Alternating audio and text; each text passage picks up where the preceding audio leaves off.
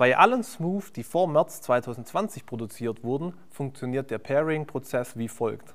Um eine Bedieneinheit mit der Antriebseinheit zu verbinden, muss ich die Abdeckung an der Bedieneinheit hinten lösen, einschalten,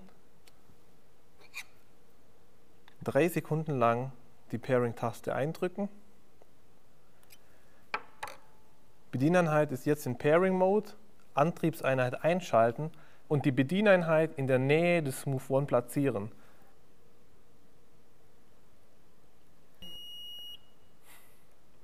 Warten, bis beide Displays das gleiche anzeigen und mit An-Aus bestätigen.